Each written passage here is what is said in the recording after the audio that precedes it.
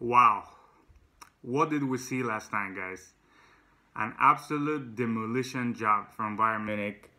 I mean, we all knew that they're favorites and, you know, they're going to win this. My prediction was 3 1, but surely no one. So, eight goals coming for Barca. Uh, an absolute embarrassment, you know, as Gerard Piqué called it after the game. This is, uh, for me, is the biggest shame uh, in the recent Barcelona history. Uh, but let's not kid ourselves. Uh, this result last night was coming. You know, uh, Barcelona away in the Champions League in the last few years has had bad losses. You know, let's think back to that night in Rome. Uh, before that night in Paris, that was a little bit paper over the cracks with the uh, with that remontada in Nou Camp. last year in Liverpool, you know, this has been coming for years and uh, Barcelona is an absolute mess of a club at the moment. Uh, you know, uh, from top to bottom. You know, let's start with the top. You know, Bartomeu, the board of directors, the decisions they've been making for the last few years, the signings. Um, I mean, just to rub more salt into the wounds, Coutinho, one of the, you know, players that Barcelona spent a lot of money on, didn't fit into the squad, loaned them out. Um, He's not playing in the Bayern starting 11, comes in for a few minutes, scores two goals, gives one assist. Uh, just to basically even show uh, that uh, he's still a great player. He's just, you know, needs to be in the right system with the right coach behind him, and then he will deliver. Um, the signings, the, the coaches, you know, uh, Valverde, you know, he was the scapegoat for all these months that you know Barca fans were saying Valverde out, he's not playing the you know the Barcelona style. He's the the person that's at fault.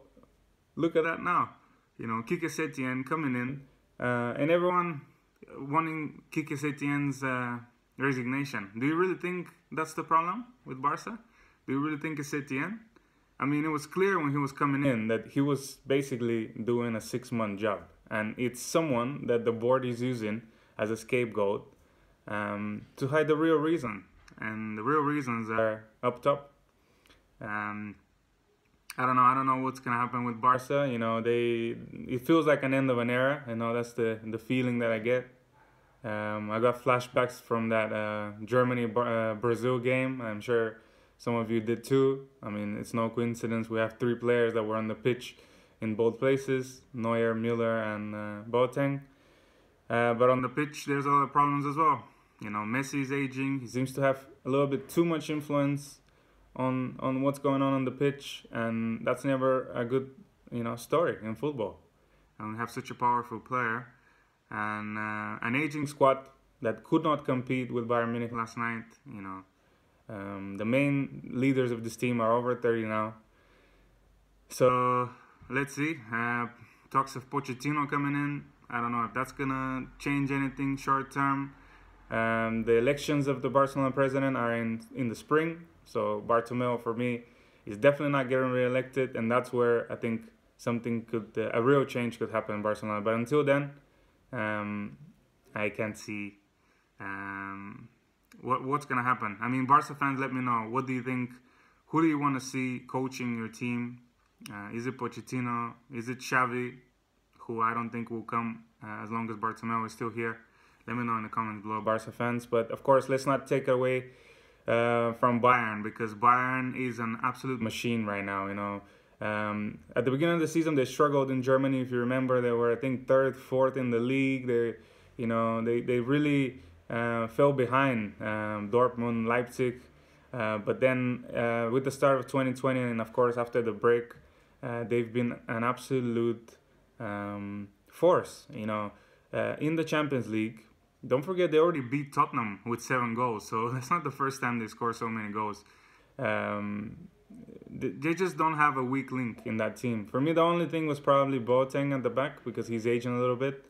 But uh, even then, you know, they were solid. From the off, they showed that this, they, you know, they're, they're up for it, and um, they executed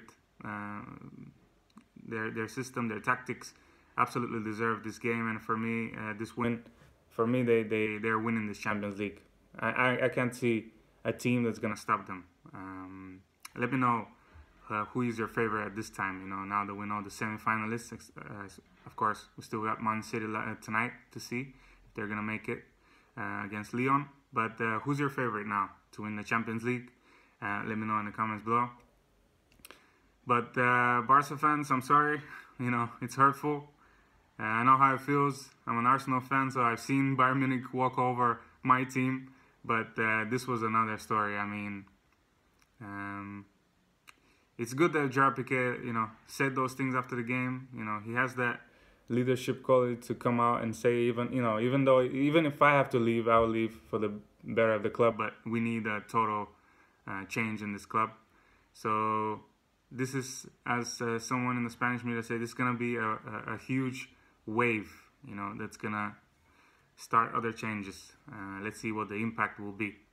Of course, Atletico Madrid as well knocked out of the Champions League uh, by Leipzig. A little bit of a surprise, but uh, if you actually watch the game, uh, RB Leipzig deserved that win. Atletico didn't offer anything at all. Joao Felix needed to start that game. They lacked creativity up front. Um, and uh, yeah, they, they deservedly lost to a very good Leipzig team that even without Timo Werner showed that um, they have a tactic, they have a system, and the 33 year old manager Nigel Nagelsmann, you know, he's not no he's no fluke. Um, he's doing the things right, and uh, he's got his team into the semifinals of the Champions League. Uh, and that's the first time in 13 years since 2007 that we're not going to see a Spanish team in the semifinals. So, yeah, we got used to it, but um, a little bit of difference, I guess.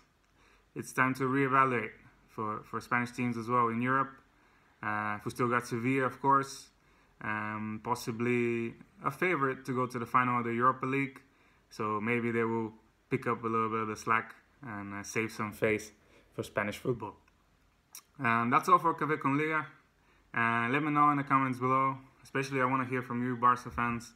How do you feel about your club right now? I know it's hard to talk, but uh, you know it's time for for changes, and uh, changes need to be made. Don't forget to like, share in your story, and come back.